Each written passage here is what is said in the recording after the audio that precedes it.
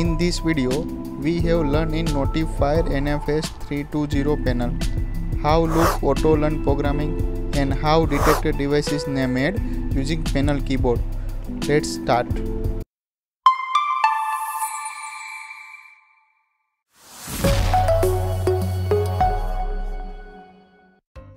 All detected devices connect in the loop, then press enter, press 1 for programming, then password 4 times 0, press enter, press 1 for basic programming, press 1 for auto learn program,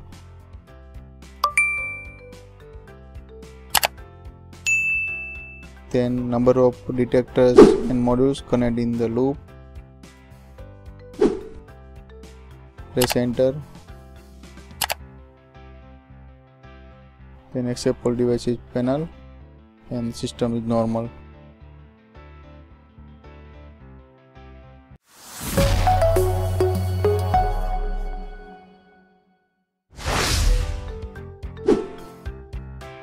press enter press 1 for programming password 4 times 0 press enter press 1 basic programming press 2 point press 1 modify point.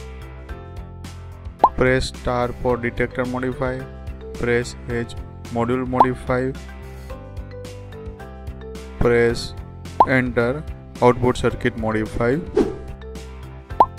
Here press edge for module modify and press address.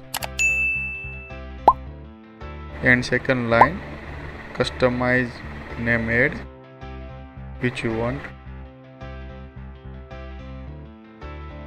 MCP is an office area so name typing office so press uh, using keyboard enter keyword and press enter uh, then after escape all program and enter main menu